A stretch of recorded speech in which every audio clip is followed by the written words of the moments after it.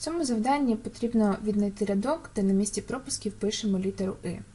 Для цього нам знадобляться прості правила правопису префіксів пре, при і прі. Почнемо з найпростішого. Прі.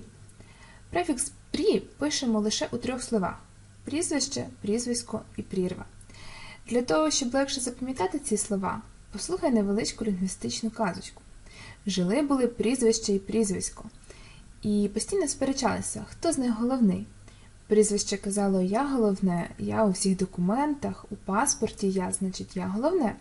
А прізвисько ображалося Я головне, мене частіше використовують, тоді я точно головне. І утворилася між давніми друзями велика-велика прірва. Пам'ятаючи цю кумедну історію, ти точно запам'ятаєш, що префікс прі пишемо лише у трьох словах: прізвище, прізвисько і прірва. Інколи ти можеш натрапити на цей префікс у іншомовних словах, скажімо, пріоритет. Подивімося на наше завдання. У варіанті Д є слово прізвище. Точно ставимо літеру І, і це означає, що цей варіант нас не задовольняє. Йдемо далі. Префікс пре. Префікс пре пишемо у слові тоді, коли можемо замінити його словом дуже. Скажімо, пресправедливий, тобто дуже справедливий, або презелений, тобто дуже зелений.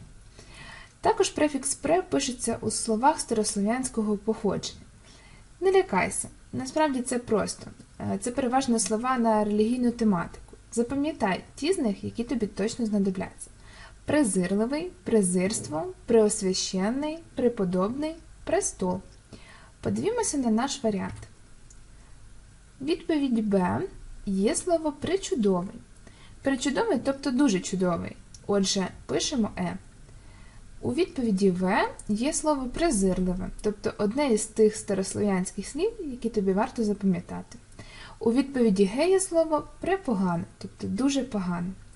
Таким чином, знаючи два прості правила, ти викреслиш три відповіді. Правильна відповідь очевидна. А. Придніпровська залізниця привабливі ціни.